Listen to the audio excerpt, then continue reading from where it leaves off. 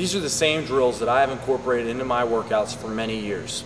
They have helped me reach my potential as a Division I college basketball player.